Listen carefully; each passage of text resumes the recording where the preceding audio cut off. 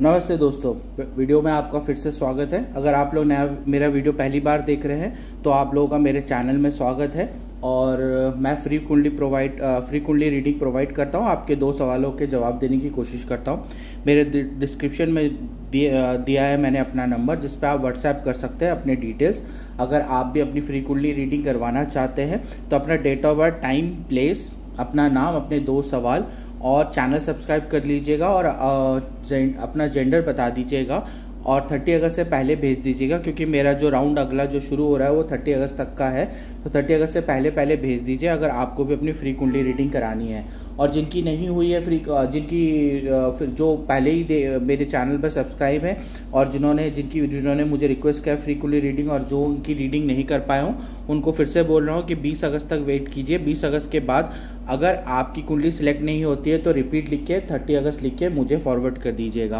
बहरहाल, अभी मैं जो कुंडली रीड करने वाला हूँ, वो हिमांशु जी की है। हिमांशु जी की एज 43 प्लस है। हिमांशु जी की एज 43 प्लस है और उनकी केतु की महादशा चल रही है एट प्रेजेंटली जो 2023 केतु जो शुरू हुआ है 2023-22 के आसपास शुरू हुआ है और 2023 तक केतु की अंतरदशा थी और अब शुक्र की अंतरदशा चल रही है केतु के अंदर जो 2024 के छठे महीने जून तक चलेगी। तो अब बात ये आती है कि हिमांशु जी ने मुझसे दो सवाल पूछे। पहली बात हिमांशु जी कैसे हैं आप? आ, आपकी कुंडली बहुत स्ट्रांग है, लेकिन टाइम थोड़ा सा भारी चल रहा है। तो आई होप आप ठीक हैं। आपका हेल्थ वगैरह सब ठीक है। और अगर है तो अपने हेल्थ पे ध्यान रखिएगा। केतु की महादशा चल, आपने पूछा जी केतु की महादशा का इफ़ेक्ट कैसा रहेगा और क्या बिज़नेस स्टार्ट करूँ तो आपको फ़ायदा मिले। देखिए, आपकी कुंडली में केतु छठे घर में बैठा है, ये तो आपको भी पता है। आपने मुझे अपनी कुंडली चार्ट भेजी थी।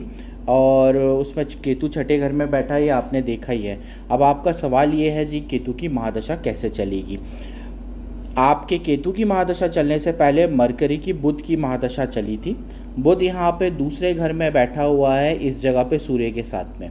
और शुक्र और मून की भी यहाँ पे साथ में जोड़ी है। तो चार प्लैनेट जो हैं, वो आपके सेकेंड हाउस में बैठे हुए हैं। अगर चार प्लैनेट सेकेंड हाउस में बैठे हुए हैं तो ऑब्वियसली आपको ग्रोथ आपके बिज़नेस से आपके पर्सनल एसेट से और अपने जो भी आपने कमाया है, जो भी कुछ किया चाहे आपने वर्क किया है, आपने बिज़नेस किया है, या आपको जो भी कन्वीनियंस मिली है, सब कुछ आपके अपने पर्सनल घर से मिली होगी। आपके एंसेस्ट्रल प्रॉपर्टी से आपको मदद मिली होगी, या आपने बना ली होगी अपनी फिक्स एसेट अपनी मेहनत करके।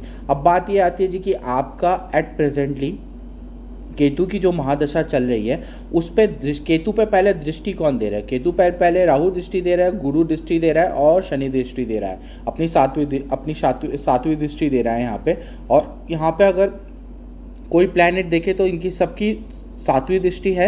इनकी कभी किसी और की कोई भी दृष्टि नहीं है तो इनमें से कोई आपकी प्लानट दृष्टि नहीं दे रहा है। और यहाँ पे शायद मंगल भी आपको दृष्टि दे रहा है। देख लेते हैं, एक, दो, तीन, चार, पाँच छः सात, आठ। तो आठवीं दृष्टि मंगल की, सातवीं दृष्टि शनि की, सातवीं दृष्टि गुरु की, सातवीं दृष्टि राहु की। केतु की दृष्टि कहाँ पे जा रही है? केतु की पांचवी दृष्टि, एक, दो, तीन, चार, पाँच, कर्म पे। दूसरी दृष्टि जा रही है सातवें घर पे एक्सपेंसेस पे। और तीसरी दृष्टि जा रही है सेकेंड हाउस पे, कुटुंब पे। तो केतु की जहाँ जहाँ दृष्टि जा रही है, वहाँ वहाँ केतु कॉम्प्लिकेशन क्रिएट करेगा। आपकी महादशा में केतु कॉम्प्लिकेशन क्रिएट करेगा। अब कैसे कॉम्प्लिकेशन क्रिएट करेगा? केतु देखेंगे तो आपके शनि के घर में बैठा हुआ है, शनि सातवें घर में बैठा हुआ है सॉरी बारहवें घर में बैठा है एक्सपेंसेस के हाउस में बैठा हुआ है। तो आपको अपने हेल्थ के ऊपर हो सकता है एक्सपेंसेस बढ़ा दे।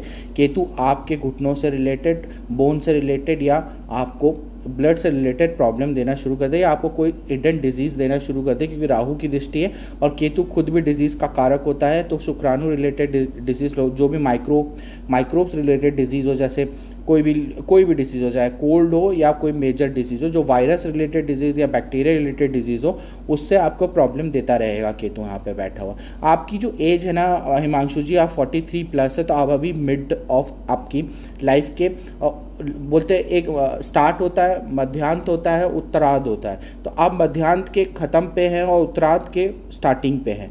तो अगर आपकी एज को तीन सेक्टर में बांटिए जाए तो एट प्रेजेंटली आप अपने मिडल्स के एंड पे जा रहे हैं और अपने लास्ट स्टेज अपने मतलब एज के जो एक लास्ट जो हम बोलते हैं जी कि बचपन, बुढ़ा जवानी और बुढ़ापा तो अपने ओल्ड एज की तरफ़ जा रहे हैं। आई होप आप मेरी बातों को माइंड नहीं कर रहे होंगे। आई एम रियली सॉरी अगर आप मेरी बात को माइंड कर रहे हो तो। लेकिन ये सच्चाई है मेरी मेरी नज़र के मेरी नज़र और मेरी दृष्टिकोण से ये सच्चाई है कि आप अपने मिडिल एज से ओल्ड एज की तरफ़ जा रहे हैं। इस टाइम पे केतु आपको काफ़ी ज़्यादा इफ़ेक्ट करता है क्योंकि इस टाइम पे इंसान एक तरीके से सेटल होता है और अपने एज के ऊपर आगे जाने अप, अपने जो ओल्ड एज के बारे में इंसान ये सोचता है कि अब मैं अपनी ज़िंदगी अच्छे से काटूँ।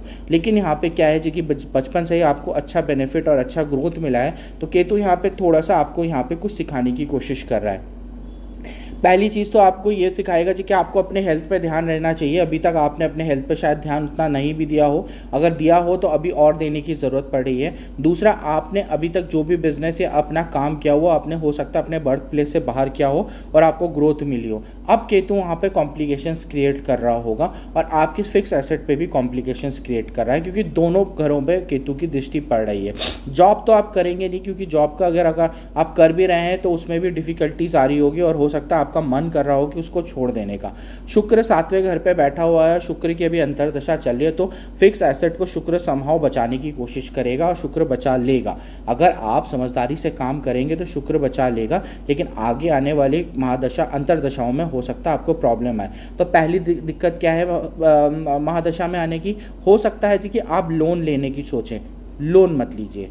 कोई भी लोन मत लीजिए। अगर कोई एक्सपेंसेस हो रहा है, अपने आपकी हेल्थ पे हो रहा है हॉस्पिटलाइजेशन पे हो रहा है, उसको जितना हो सके उतना मिनिमम करने की कोशिश करिए। वो मिनिमम आप तभी कर पाएँगे जब आप अपनी हेल्थ को लेकर ध्यान रखेंगे, अपने आस पड़ोस के लोगों के, अपने पर्सनल रिलेटिव्स अपने पर्सनल लाइफ के जो भी लोग इंपॉर्टेंट है, उनके बारे में सोच के चलेंगे, उनके हेल्थ को लेकर सोच के चलेंगे तो आपको बेनिफिट मिलेगा। हो सकता है आपके बच्चे की भी हेल्थ को लेकर या उसके एजुकेशन को लेकर भी कोई प्रॉब्लम आ रहा है या उसकी एजुकेशन के नाम पर अगर आप कोई लोन को, कोई एसेट या कुछ कर रहे हैं तो वो भी आप थोड़ा सोच समझ के करिए बिकॉज़ अभी टाइम अच्छा नहीं है। अब बात ये आती है कि केतु इसके अलावा क्या इफ़ेक्ट देगा? केतु यहाँ पे बैठ के आपको अपनी सोच पे दो बार, तीन बार सोचने को मजबूर करेगा और अगर आप नहीं सोचेंगे तो आप कोई भी डिसीज़न लेंगे तो वहाँ पे आपको प्रॉब्लम देगा। सिक्स हाउस में आपको डेप्थ पे डालेगा, आपको लॉ सूट पे डाल सकता है या हो सकता है कि आप किसी लीगल बैटल में फंस जाए। हालाँकि आप यहाँ से निकलने की निकल जाएँगे, अगर सैटन की दृष्टि पड़ रही है तो कोशिश अच्छा ही रहेगा जी निकलने की कोशिश रहेगा, लेकिन इतनी आसानी से नहीं निकलेंगे, क्योंकि सैटन भी यहाँ पे पंचमें, पाँचवें घर में बैठा हुआ है, बारहवें घर में बैठा है और सूर्य की राशि में बैठा हुआ है। हालाँकि सूर्य शक्ति शक्ति काफ़ी अच्छा पोजीशन में बैठा हुआ है। शुक्र के साथ अच्छा रिलेशन नहीं भी हुआ तो क्या हुआ? सेकंड हाउस में बैठा हुआ है और शुक्र एक दे राक्षसों के देव माने जाते हैं तो उनके घर में बैठे हुए सन, सन कोई ख़राब रिज़ल्ट नहीं देगा। ले, लेकिन नीच का बैठा हुआ है सन यहाँ पे इसलिए सन अपने घर का इफ़ेक्ट उतना अच्छा नहीं देगा। नीच का सन आपको काफ़ी कॉम्प्लिकेशन करेगा और वहीं पर शनि भी यहाँ पर कॉम्प्लिकेट करेगा। लेकिन शनि के साथ फ़ायदा यहाँ पर ये है कि शनि पंचमे शो के बारहवें घर में बैठा हुआ है और छठे शो के बारहवें घर में बैठा हुआ है तो पंचम का मालिक होकर शनि कोई नेगेटिव असर नहीं देने की कोशिश करेगा। उल्टा आपको अपने लिटिगेशन या आपके मैटर्स को निकालने की कोशिश करेगा अगर कोई लॉ सूट है तो। अगर आपको लॉ सूट है, अगर मेंटल स्ट्रेस है तो उससे आपको अपने आप को थोड़ा सा अलग करना पड़ेगा। आपको ये समझना पड़ेगा जी कि ज़िंदगी में कुछ कुछ चीज़ें अगर नहीं मिले तो भी क्या? कोई बात नहीं। अगर ऐसी चीज़ सोच के चलेंगे तो जो चीज़ नहीं मिलने के भी चांसेस हो, वो मिलने के हो सकते हैं। अब बात ये आती है जी कि केतु यहाँ पे बैठे हुए बिज़नेस को आपको मैंने ये चीज़ बता दी कि केतु के इफ़ेक्ट क्या रहेंगे? एक तो लोन मत लीजिएगा लोन लेंगे तो उसकी लाइबिलिटी लॉस सूट की लाइबिलिटी हेल्थ को लेकर डिसीज़न हेल्थ को लेकर दिक्कत हो सकती है पार्टनर को हेल्थ के लिए कोई भी प्रॉब्लम हो सकती है। तो इन सब चीज़ों को अपना साथ ध्यान में रखे चलिएगा। महादशा में केतु आपको ये ये सब इफेक्ट्स देगा और एक्सपेंसेस बढ़ा देगा। आपका हॉस्पिटलाइजेशन या एक्सपेंसेस बाहर कोई बिज़नेस या कुछ भी कर रहे हैं तो उस पर एक्सपेंसेस बढ़ जाएगा। और आपके अपने फिक्स एसेट भी बेचने के हालात हो सकते हैं, अगर आप सावधानी से नहीं चले तो ये केतु के असर रहेंगे। अब बताते हैं जी कि केतु में बिज़नेस क्या कर सकते हैं। केतु देखिए शनि के घर में बैठा है शनि के ग्यारहवीं राशि में बैठा हुआ है। ग्यारहवा राशि क्या होता है? विशेष का राशि होता है और आ, कल एक और तरीके से देखा जाए तो कुंभ राशि कल्याण का राशि होता है वेलफेयर का राशि होता है। अगर आप देखें तो वेलफेयर करने वाले लोगों को काफ़ी हद तक कुंभ के राशि से कनेक्ट किया जा सकता है। तो केतु अगर यहाँ पर बैठा हो तो आपसे एक्सपेक्ट कर रहा है कि आप वेलफेयर करें आप अपना बिज़नेस वेलफेयर को लेकर स्टार्ट करें। और वेलफेयर को लेकर क्या स्टार्ट हो सकता है? वेलफेयर को लेकर ये स्टार्ट हो सकता है देखिए आप किसी को लोन दिलाने की मदद करें, या आप किसी को पैसा दिलाने की मदद करें, जो आपको जेन्युइन लगे। आप अपना पैसा मत किसी को दीजिएगा, लेकिन हो सकता है अगर आप किसी बिज़नेस पे हो, जिसमें आप, या आप किसी बिज़नेस को स्टार्ट करें, या आप किसी कंसल्टेशन कंसल्टेशन को स्टार्ट करें, जिसमें आप किसी को हेल्प करने की कोशिश करें, उनको, उनकी उनकी प्रॉब्लम से निकालने की कोशिश करें, और उससे आपको कुछ बेनिफिट वो दे के जाए तो अच्छा रहेगा। दूसरा पॉइंट वो ये रहेगा जी कि अगर आप किसी को टीच करने, आपकी जितनी भी अभी तक की लाइफ की एक्सपीरियंस रही है, उसमें अगर आप, अब अब आप उसको डेप्थ में जाके, अब उसकी यूज़ पे लें और उसको दुनिया को या आसपास के लोगों को या उसको एज एन बिज़नेस पकड़े और दूसरों को वेलफेयर करें अपनी नॉलेज को, अपनी नॉलेज के थ्रू चाहे वो आपकी नॉलेज बिज़नेस से रिलेटेड हुआ हो लिटिगेशन से रिलेटेड रहा हो या मेडिकल रिलेटेड रहा हो तो अगर आपके रिलेशन आपको अगर उस किसी, ऐसी किसी चीज़ का नॉलेज है तो आप उस नॉलेज का इस्तेमाल कर सकते हैं, उससे कंसल्टेंसी कर सकते हैं या एज एन टीचर आप इस्तेमाल करिए तो आपके लिए बेहतर रहेगा क्योंकि केतु यहाँ पर बैठा हुआ ऐसी ही पोजिशनिंग बना रहा है। अगर आप मेडिकल रिलेटेड किसी चीज़ में डील कर रहे हैं तो मेडिकल रिलेटेड चीज़ों में भी आप सर्विस में चले जाइए। आप उन लोगों को उसके रिगार्डिंग इन्फॉर्म करिए जो भी आप मेडिसिन प्रोवाइड कर रहे हैं या मेडिसिन मेडिकल रिलेटेड जो भी आप काम कर रहे हैं। ऐसी चीज़ों में करेंगे तो केतु आपको अच्छा फल देगा यहाँ पे बैठा हुआ। सिक्स हाउस में बैठा हुआ केतु आपको करेजियस हिम्मत वाला बनाएगा और आपको काफ़ी चीज़ें गंभीर तौर से आपको सोचने की शक्ति भी देगा। लेकिन साइमल्टेनियसली आपको वेलफेयर को करने के लिए मजबूर कर रहा है यहाँ पे तो आपको जो भी काम आप बिज़नेस करें तो उसमें वेलफेयर पॉइंट ऑफ़ व्यू को देख के चलिएगा। लोगों को थोड़ा सा हेल्प करते हुए जो बिज़नेस हो सके, जैसे मेडिसिन रिलेटेड हो गया या अगर आप लॉयर हैं तो आप फ्री एडवाइस दीजिए या फ्री क्लिनिक चलाइए और उनको हेल्प करने की कोशिश करिए। एट प्रेजेंटली अगर आप सोचिए कि आपकी इनकम कुछ हो जाए, बहुत बड़ी इनकम हो जाए तो मैं आपको यही बोलूँगा जी कि आप अपना काम पर ध्यान दीजिए। मुझे अभी जो बेनिफिट आपको पहले मिले हैं, वो बेनिफिट को अगर आप रोक के रखना चाहते हैं, अगर फ्यूचर को देखें तो अगर ये देख, बोलूँ कि अगर आप आज अपने आप को सेटल करना चाहते हैं तो ये केतु आपको डिस्टर्ब करेगा। लेकिन जो चीज़ आपके पास है, उस चीज़ को अगर आप सेव करना चाहते हैं या उस चीज़ से आप अपने आप को अपने आप से रिलेट रखना चाहते हैं, क्योंकि केतु यहाँ पे उन सब चीज़ों को दूर करने की कोशिश करेगा। जो भी कन्वीनियंस है, उसको दूर करने की कोशिश करेगा। तो केतु यहाँ पे आपको उस चीज़ को अगर आप बचाना चाहते हैं तो आपको अपनी कन्वीनियंस को भूल के दूसरों के प्रॉब्लम्स को अपनाना पड़ेगा, दूसरों की प्रॉब्लम्स के साथ को डील करके उनको सॉल्व करने का कोशिश करना पड़े। कोई भी काम, अगर मैंने आपका प्रोफेशन पूछा नहीं था, लेकिन कोई भी काम जो आप दूसरों के कन्वीनियंस या दूसरों को हेल्प करने के लिए करेंगे, उसे आपके अपनी आपको अपने फ्यूचर को सेव करने में ज़्यादा अच्छा रहेगा। और अगर सात साल ये आप अच्छे से कर लेते हैं तो इसके बाद आपको सूर्य की दशा लगेगी सूर्य आपका नीच है, लेकिन सेकंड हाउस में बैठा हुआ है और बारहवें घर का है तो आप फिर से आपने ज़्यादातर हो सकता है कि बाहर से ही कमाया हो या आपने अपने बर्थ प्लेस से दूर आपकी सेटलमेंट रहा हो तो सूर्य फिर से आपको वहीं पे लाके खड़ा कर देगा। लेकिन इस केतु को बचा, केतु के समय को आपको ऐसे ही काटना पड़ेगा। थोड़ा सा आपको मेहनत करनी पड़ेगी वेलफेयर करना पड़ेगा, तभी आप स्टेबल रहेंगे। लोन बिल्कुल मत लीजिएगा लाइबिलिटी बिल्कुल मत लीजिएगा। मैं आपको बार बार कह रहा हूँ, नहीं कि वो आपको प्रॉब्लम प्रोवाइड करेगा।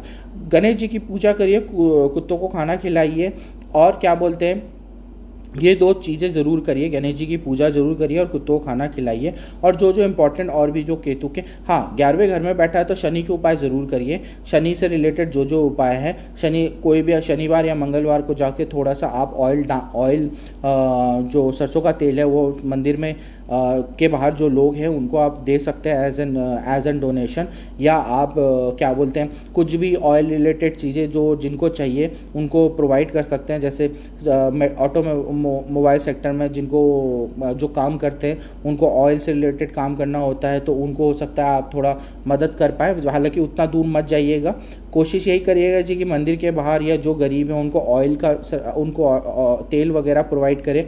अपने से नीचे जो भी सर्विस क्लास है, जो आपके पास काम नहीं करते, लेकिन सर्विस सेक्टर में है, जैसे जो झाड़ू मारने वाले हो गए या कूड़ा उठाने वाले होंगे, लेकिन जो आपके नीचे काम नहीं करते, जो सोसाइटी के लिए काम करें, उनको मदद करने की कोशिश करिए, उनको हेल्प करने की कोशिश करिए। केतु की महादशा आपको उसमें अच्छा फल देगी। तो ये था मेरा एनालिसिस हिमांशु जी, अपने हेल्थ का, अपने एसेट्स का ध्यान रखिएगा। अभी के केतु आपको कॉम्प्लिकेशन दे सकता है। Thank you